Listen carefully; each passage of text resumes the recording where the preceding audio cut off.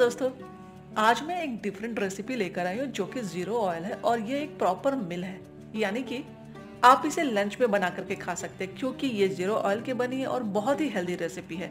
ये एक Turkish recipe है जिसे दोलमा बोलते हैं। बनाना उतना ही आसान है, सिर्फ़ कुछ चीज़ों से ये रेसिपी झटपट से बनकर तैयार हो जाती है। तो चलिए शुरू करते हैं। दोस्तों, मैं हूँ पिंकी और आपका मेरे किचन में स्वागत है। दोलमा की रेसिपी बनाने के लिए हम कोई भी कैप्सिकम ले सकते हैं, हरा येलो कोई भी। मैंने रेड लिया है और तीन कैप्सिकम लिया है।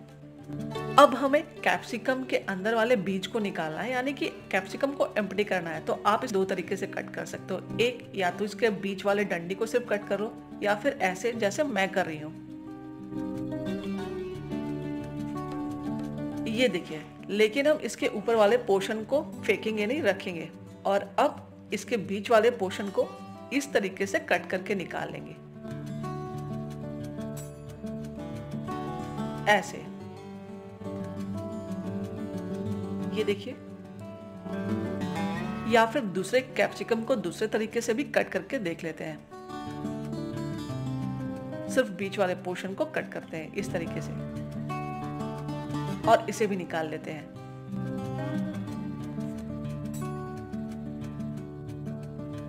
अब ये भी निकल गया है तो तीसरे वाले को भी सेम तरीके से निकाल लेंगे। तीनों कैप्सिकम एम्प्टी है। अब इसे एक तरफ़ रख देंगे। और ये है राइस जिसे मैंने सोक करके रख लिया था। ये आधा कप राइस है। आप अपने पसंद की कोई भी राइस ले सकते हैं। अब इसमें डाल देंगे वन चॉप्ड किया हुआ अनियन यानी कि प्याज। और अब इसमें डाल देंगे one tablespoon tomato paste तीखा करने के लिए मैं यहाँ पे डाल रही हूँ चिली फ्लेक्स आप इसकी जगह पे पेपर पेस्ट यानी कि रेड चिली का पेस्ट डाल सकते हैं। और अब इसमें जाएगा नमक स्वाद के अनुसार। रोजमेरी हर्ब्स डाल रही हूँ मैं यहाँ पे थोड़ा सा आप यहाँ पे ग्रीन फेनल या फिर मिंट लिप्स कोई भी चॉप करके डाल सकते हैं। एक टी स्पून पासली हर्ब्स अगर आपके पास फ्रेश है तो फ्रेश डालें। दो पिंच काली मिर्च का पाउडर इसे कलरफुल बनाने के लिए हाफ़ टी स्पून काश्मीरी लाल मिर्च डाल रही हूँ, ये ऑप्शनल है। आपके पास जो भी फ्रेश लिप्स है, वो डालें, क्योंकि फ्रेश लिप्स से बहुत अच्छा सा टेस्ट आएगा। और अब इसे अच्छे से मिक्स कर लेंगे। मैं हाथों का हेल्प ले रही हूँ मिक्स करने के लिए आप स्पून का हेल्प ले सकते हैं। दोस्तों, ये बहुत अच्छी रेसिपी है, बिल्कुल डिफरेंट रेसिपी है। ये इंडियन रेसिपी से थोड़ा हटकर है, लेकिन आप इसे ज़रूर ट्राई करें, मुझे बहुत पसंद आया था। ज़ीरो ऑयल की ये रेसिपी है प्रॉपर मिल है हेल्दी रेसिपी है।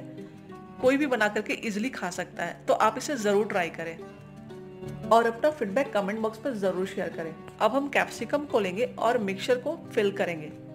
लेकिन मिक्सचर को हम पूरा फिल नहीं करेंगे क्योंकि राइस कुक होने के बाद फूलता है। इसलिए थोड़ी सी जगह खाली रखेंगे। तो दोस्तों, ऐसी बहुत सारी बेहतरीन रेसिपीज़ मिलेगी आपको मेरे चैनल पे। अगर अब तक आपने मुझे सब्सक्राइब नहीं किया तो जल्दी से सब्सक्राइब करें ताकि मेरे वीडियोस की नोटिफिकेशन सबसे पहले आपको मिले। यहाँ पे मैंने फिल कर दिया, अब इसके कवर को लगा देंगे। इस तरीके से। अब इसे एक केक टिन में या फिर बाउल में रखेंगे, क्योंकि हमें इसे बेक करना है। बाकी के कैप्सिकम को भी हम भर लेंगे। तो आप कैप्सिकम के मुँह को बंद करने के लिए यहाँ पे टमाटर का भी इस्तेमाल कर सकते हैं, या फिर पोटैटो का भी इस्तेमाल कर सकते हैं, या फिर आटे का डो का इस्तेमाल कर सकते हैं। ये कोई भी चीज़ आप इस्तेमाल कर सकते हैं। तो ये ज़ीरो ऑयल की दोलमा रेसिपी बनने को तैयार है, लेकिन एक इंग्रेडिएंट बाकी है। अब यहाँ पे लेना है एक ग्लास गर्म पानी। ध्यान रहे, पानी का गर्म होना ज़रूरी है, और इसमें डाला जाता है वन टेबल स्पून पोमेग्रेनेट सोर जो कि मेरे पास नहीं है, लेकिन हम यहाँ पे आधा नींबू डाल देंगे, नींबू का रस। दो पिंच नमक और दो पिंच ब्लैक पेपर डाल देंगे। पोमेग्रेनेट सोर बहुत ही फ़ेमस है टर्किश रेसिपीज़ में, लेकिन अगर नहीं है तो आप उसके जगह पे नींबू का रस इस्तेमाल कर सकते हैं, जो मैंने किया। अब इसे मिक्स कर लेंगे। और ये सॉल्यूशन को हम इसमें डाल देंगे। डाल लेने के बाद हमें इसे 220 डिग्री पे 30 मिनट्स के लिए बेक करना है। लेकिन मीन वाइल पंद्रह मिनट के बाद हम इसको दूसरी तरफ़ फ्लिप कर देंगे, ताकि ये दोनों तरफ़ से पके। आप इसे कढ़ाई में भी बना सकते हैं। तो ये गया अवन में। 30 मिनट्स के बाद ज़ीरो ऑयल की रेसिपी बनकर तैयार है, यानी कि आपकी टर्किश दुलमा रेसिपी बनकर तैयार है। आप इसे ज़रूर ट्राई करें और प्लीज़ अपना फीडबैक कमेंट बॉक्स में ज़रूर शेयर करें। मुझे तो भूख लगी और यह न्यू रेसिपी मुझे अट्रैक्ट कर रही है, मैं चली इसे खाने। रेसिपी पसंद आए तो लाइक और सब्सक्राइब ज़रूर करें। Thank you